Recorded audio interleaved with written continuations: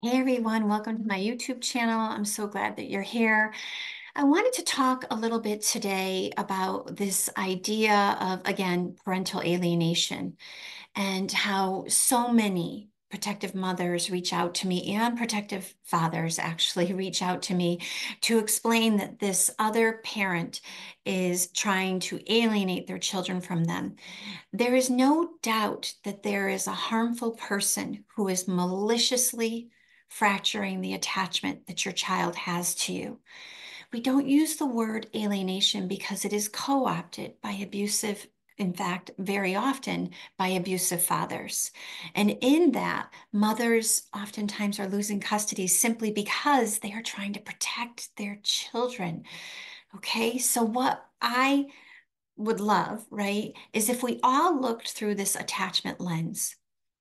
Every single child needs to have, I mean, virtually every child needs to have a strong attachment, a secure attachment to a protective parent, to a caretaker in their life.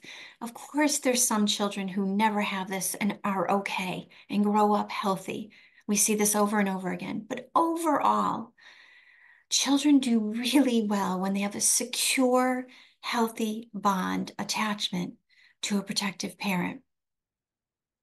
The problem is, is that when children are growing up in a situation where there is a coercive controller, I believe these coercive controllers start day one.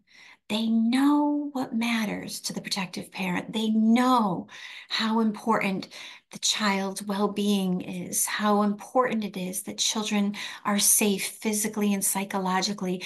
This protective parent loves these children implicitly and authentically.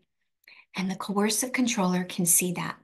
They can see clearly how much these children matter to this protective parent. And so from day one, they begin in some ways to diminish the adult victim. We see it over and over again, right? You lose your autonomy, your sense of understanding about what's happened. You lose your clarity about what's healthy and unhealthy. You may be betrayed and you forgive over and over again.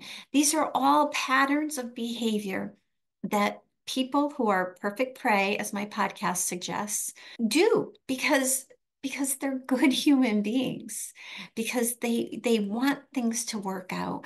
They are loyal to a fault. So of course if this is happening with the adult victim we truly have to understand this is happening with the children they are also experiencing this stripping away of their agency, this inability to see clearly, this trauma bonding, this cognitive dissonance to the bad, as Dr. Jennifer Freyd explains, the betrayal trauma that they have over and over again, knowing that clearly these children are really in a bind and they are being told that their protective parent maybe doesn't love them very much, or is always tired, or should be on medication, or is the cheater. They're being told all of these things because the coercive controller wants the child to feel betrayal, wants the child to feel betrayed by that protective parent. If that child can feel betrayed by that protective parent, that child will not have agency will lose their voice, will feel unsupported, and may be more likely to align with the abusive parent. May be more likely to align with the abusive parent. We have to imagine these children, their brains are suffering. It is broken brain when over and over and over again, everything that you believe is safe, you no longer can trust is safe. So I hope that's helpful. I hope you have a great day.